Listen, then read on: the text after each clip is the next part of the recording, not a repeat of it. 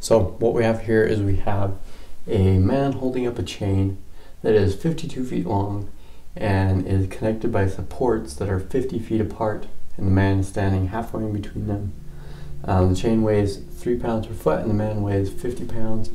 What we need to find is this height that he has to hold up the chain to keep all the chain off the ground and the force at that point what he exerts on the ground holding up that chain. So that's what we're going over in this video. If you want a video of me explaining how to solve for catenary loads and what all these equations come from, um, you can click on this video link. If you like this video, hit that like button and please subscribe.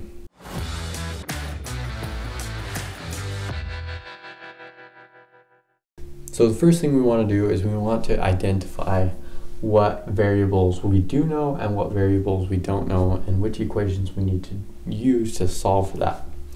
So we have here that we have our 52 foot chain, but even though S is our um, length along the chain, we're going to set up our coordinate system like this, where this is our x direction, that's our y direction, and then we have the length of the half of the cable going say from A to the man.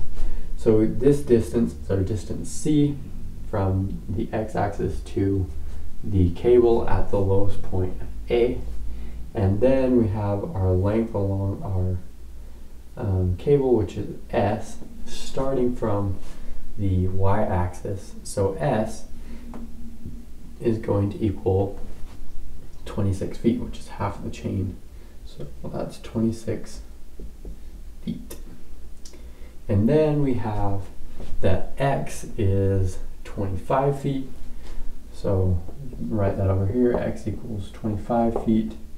And then our weight per unit length of the chain, which is W naught, equals 3 pounds per foot.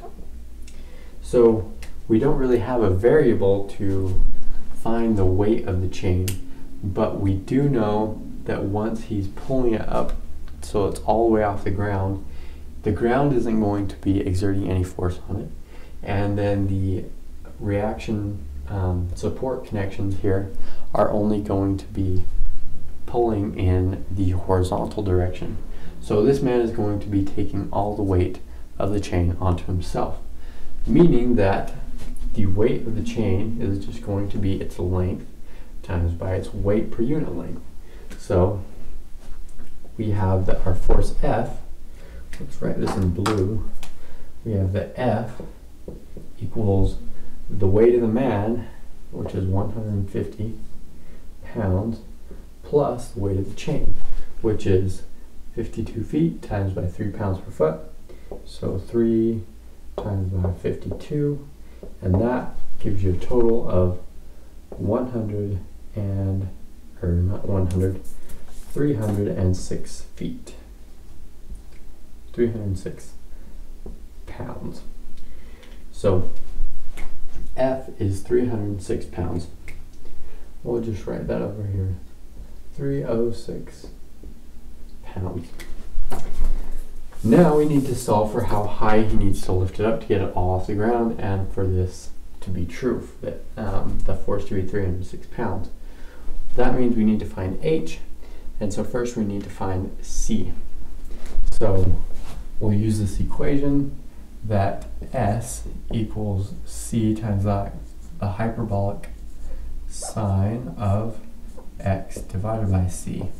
Now this isn't an easy equation to solve because we can't just solve it for c and find out what it is. Um, we have to use an iterative process where we multiply c over to the other side and that equals the hyperbolic sine of x divided by c and then we just plug in values for c and try to get them close to each other. So we'll say that this side 26 which is c or s divided by c we'll say that's on this side of the table. And then we have our hyperbolic sine divided by our time of x which is 25 divided by c. Let me just plug in values for c. And so the let's just pick a number and start. Let's say C is 20. So 26 divided by 20 is 1.3. Hyperbolic sine of 25 divided by 20 is 1.6. 1.602 approximately. So that's pretty close. Um, we don't really know whether that's C is too high or too low, so just have to keep going another direction. We'll say that C is 30. When we plug that in, we get that 26 divided by 30 is approximately 0.867. And then the hyperbolic sine of 25 divided by 30 is 0.9332. So that did get us closer. You'll notice that um, these are, this side is smaller than this side. So 1.3 is smaller than 1.6 and 0.8 is less than 0.9. So this side is smaller and because it kept going that way, that means we're going in the right direction. C is going to be bigger than 30. So we'll just keep plugging in values um, for C and getting us closer and closer.